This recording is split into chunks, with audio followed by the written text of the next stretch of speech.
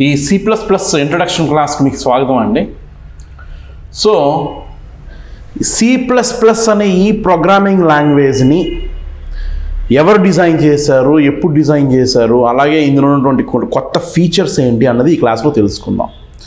So today's topic is introduction to C plus plus in that the first point is In 1980s, it is developed at AT and T Bell laboratories అయితే ఈ C plus plus అనే ఈ programming లాంగ్వేజ్ని ఎప్పుడు ఎక్కడ develop చేశారు అంటే పంతొమ్మిది వందల ఎనభైవ సంవత్సరాల్లో అంటే పంతొమ్మిది వందల డెబ్బై తొమ్మిది ఎనభై ఆ టైంలో AT and T Bell laboratories మీరు సి లాంగ్వేజ్ నేర్చుకున్నట్టయితే మీకు ఆల్రెడీ తెలిసే ఉంటుంది.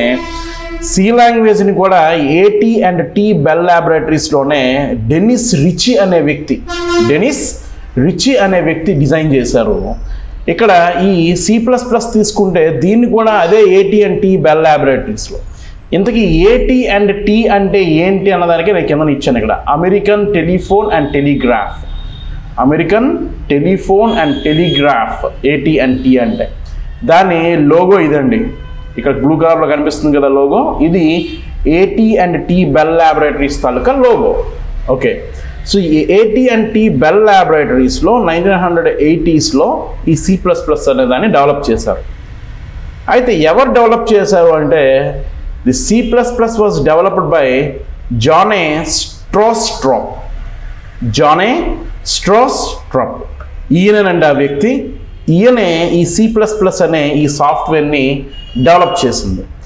అయితే ఈయన అసలు ఈయనకి ఎందుకు ఇలా డెవలప్ చేయాలనిపించింది అంటే ఈయన అతని పిహెచ్డి ప్రోగ్రాం చేస్తున్నప్పుడు సి లాంగ్వేజ్కి కాస్త మోడిఫికేషన్స్ చేసి ఇంకా ఏదైనా బెటర్గా ఒక వెర్షన్ని రెడీ చేస్తే బాగుంటుంది అన్న ఉద్దేశంతో దాని మీద రీసెర్చ్ అనేది పిహెచ్డిలో రీసెర్చ్ చేస్తారు కదండి. ఆ రీసెర్చ్ అనేది మొదలుపెట్టారనమాట అయితే సీని సీలానే ఉంచుతూ దాన్ని అలాగే ఉంచుతూ దానిలో పెద్దగా మోడిఫికేషన్స్ చేయకుండా దానికి ఏమైనా యాడ్ చేద్దామా అన్న ఆలోచనతో అప్పటికే సిములా అనేది మొట్టమొదటి ఆబ్జెక్ట్ ఓరియంటెడ్ ప్రోగ్రామింగ్ లాంగ్వేజ్గా మార్కెట్లో ఉంది. ఈ సిములా ఇది దాని లోగో సిములాది.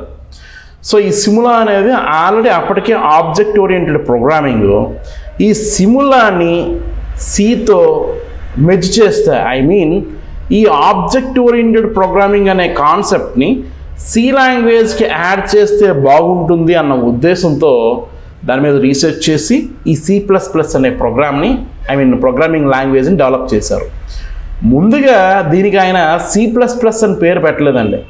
పంతొమ్మిది వందల డెబ్బై తొమ్మిదిలో మొదలు పెట్టాడు దాని మీద రీసెర్చ్ చేయడం. దాని తర్వాత దానికి సి విత్ క్లాసెస్ అనేవాడు. సో సి విత్ క్లాసెస్ అని పేరు పెట్టాడు. అలా రాను రాను రాను పంతొమ్మిది వందల ఎనభై మూడు ఆ టైంకి వచ్చేటప్పటికి దాన్ని సి ప్లస్ ప్లస్ అని పేరు పెట్టారనమాట ఈ ప్లస్ ప్లస్ అనేది ఆల్రెడీ మనం నేర్చుకున్నాం సిలో ఇంక్రిమెంట్ ఆపరేటర్ అంటారు.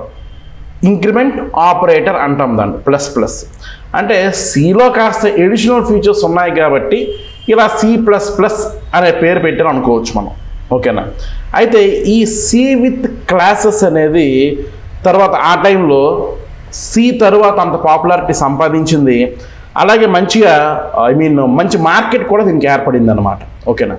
అయితే ఈ సీని మనం అంటే ఐ మీన్ ఈ C plus ప్లస్ని successor or extension of C language అనుకోవచ్చు.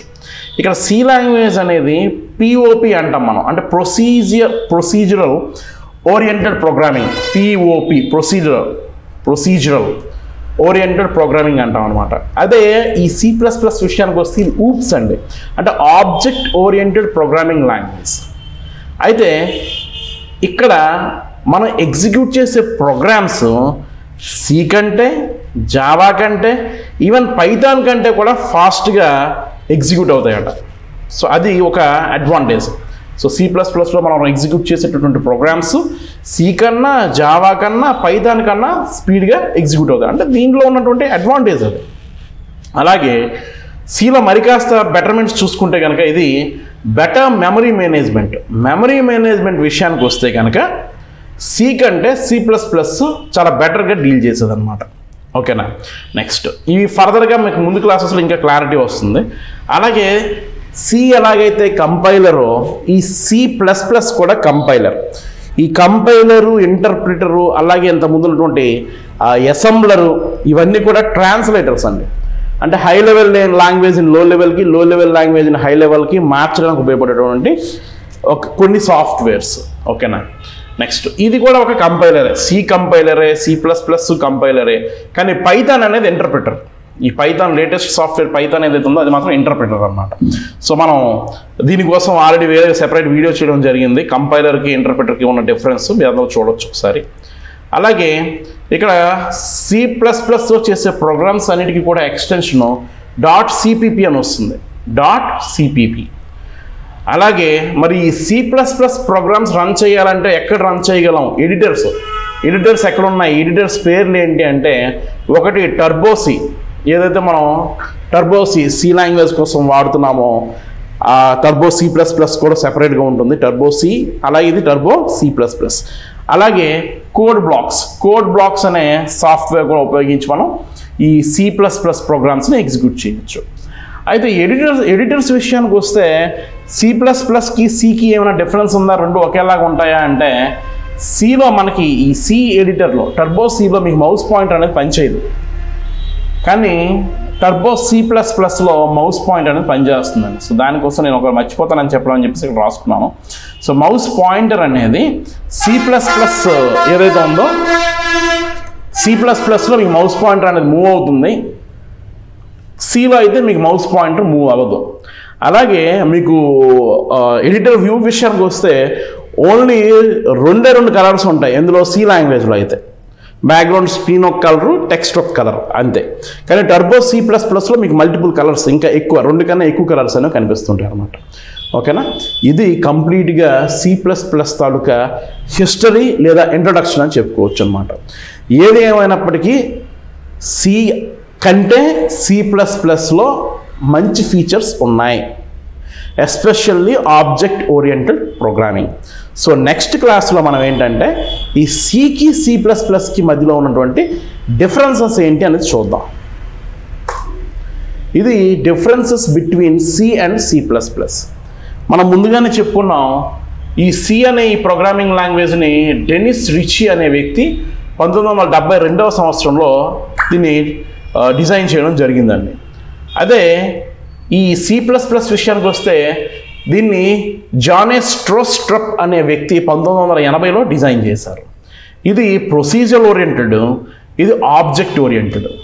ఇది ఫంక్షన్ డ్రివెన్ ఇది ఆబ్జెక్ట్ డ్రివెన్. ఆల్రెడీ మనం చెప్పుకున్నాం C subset of C plus plus. అంటే సి అనేది సి ప్లస్ ప్లస్ కంటే ముందు వచ్చింది. అంటే సి నుంచి C plus plus define design చేశారని అర్థం. C plus plus is the superset of C C కన్నా అడ్వాన్స్డ్ సాఫ్ట్వేర్ అని చెప్పుకోవచ్చు. ఇక్కడ మనం ఫంక్షన్స్ని ప్రింట్ఎఫ్ ఫంక్షన్ స్కాన్ఎఫ్ ఫంక్షన్ని వాడితే ఇక్కడ మనం ప్రింట్ఎఫ్ బదులు సి అవుట్ స్కాన్ఎఫ్ బదులు సీన్ అనే ఈ ఫంక్షన్స్ని వాడుతాం అనమాట ఇక్కడ function and data are separately written functions కానీ డేటా కానీ సెపరేట్గా రాస్తాం. Can be written in a single block రెండింటిని కలిపి ఒకే బ్లాక్లో రాసేయవచ్చు. అలాగే మెమరీ అలొకేషన్స్ విషయానికి వస్తే ఇక్కడ మనం మ్యాలాక్ క్యాలాక్ అనే ఫంక్షన్స్ యూజ్ చేస్తాం. ఇక్కడైతే న్యూ అనే ఫంక్షన్ యూజ్ చేస్తాం. సో ఇక్కడ దాన్ని ఆ ఎలక్రేట్ చేసినటువంటి మెమరీని ఏదైతే ఉందో దాన్ని ఫ్రీ చేయడం కోసం ఫ్రీ అని వాడితే ఇక్కడ డిలీట్ అని వాడతాం అనమాట అలాగే ఇక్కడ ఇన్హెరిటెన్స్ అనే కాన్సెప్ట్ ఇక్కడ సి లాంగ్వేజ్లో మీకు సపోర్ట్ చేయదు. ఇక్కడ సపోర్ట్ చేస్తుంది. ఓవర్లేడ్ ఓవర్లోడింగ్ కానీ ఇన్ఫర్మేషన్ హైడింగ్ కానీ సి లాంగ్వేజ్లో అది అసలు పాసిబుల్ కాదండి. సపోర్ట్ చేయదు. అది ఇక్కడికి వస్తే ఓవర్లోడింగ్ కానీ ఇన్ఫర్మేషన్ హైడింగ్ కానీ సపోర్ట్ చేస్తుంది. అలాగే variables should be declared in the beginning. మీరు సి లాంగ్వేజ్ చూసుకున్నట్లయితే కనుక వేరియబుల్ డిక్లరేషన్ అనేది స్టార్టింగ్లోనే మనం చేయాల్సి ఉంటుంది. అంటే ఇంటి ఏ అని కానీ క్యార్ సి అని కానీ ఫ్లోట్ ఎఫ్ అని కానీ ఏదైనా మనం ప్రోగ్రామ్ స్టార్టింగ్లోనే మెయిన్ ఫంక్షన్ రాసేసిన వెంటనే మనం వేరియబుల్ డిక్లరేషన్ చేస్తాం. కానీ ఇక can be declared anywhere anywhere అంటే దాని అర్థం ప్రోగ్రామ్ అంతా అయిపోయిన తర్వాత ఎండింగ్లో రాసుకోవచ్చు అని కాదు. అంటే ఆ వేరియబుల్ని మనం వాడడానికి జస్ట్ ముందు లైన్లోనే మనం డిఫైన్ చేసుకోవచ్చు. అన్ని స్టార్టింగ్లోనే డిఫైన్ చేయాల్సిన అవసరం లేదు ఇక్కడ మనకి. ఇక్కడ exception handling is not supported C లాంగ్వేజ్లో ఎక్సెప్షన్ హ్యాండ్లింగ్ అనేది సపోర్ట్ చేయదు. సి ప్లస్ ప్లస్లో సపోర్ట్ చేస్తుంది. Data is not secured here in C language but data is more secured in C plus plus and అనే కాన్సెప్ట్ ఉంది మనకి. ఇలాగే ఇవి మనం ఇక్కడ నేను మ్యాక్సిమం డిస్ప్లే చేసింది ఒక టెన్ టు ఫిఫ్టీన్ డిఫరెన్సెస్ ఉండి ఉండొచ్చు. ఓవరాల్గా ఒక థర్టీ టు ఫార్టీ డిఫరెన్సెస్ మనం చెప్పుకోవచ్చు అండి సికి సి ప్లస్ ప్లస్కి ఉన్న వాటిలో మేజర్గా ఉన్నవి మాత్రమే నేను ఇక్కడ తీసుకురావడం జరిగింది. సికి సి ప్లస్ ప్లస్కి దాదాపుగా ముప్పై నుంచి నలభై వేరియేషన్స్ డిఫరెన్స్ డిఫరెన్సెస్ అనేవి మనకు ఉన్నాయి. మేజర్గా ఉన్నవి మాత్రమే నేను ఇక్కడ చెప్పడం జరిగింది. ఓకేనా? సో ఫర్దర్గా నెక్స్ట్ క్లాస్లో అసలు ఈ హై లెవెల్ లాంగ్వేజ్ అంటే ఏంటి? ఈ ఆబ్జెక్ట్ ఓరియంటెడ్ ప్రోగ్రామింగ్ అంటే ఏంటి? అన్న మరికొన్ని విషయాలు మనం తెలుసుకుందాం. Right? Thank you very much.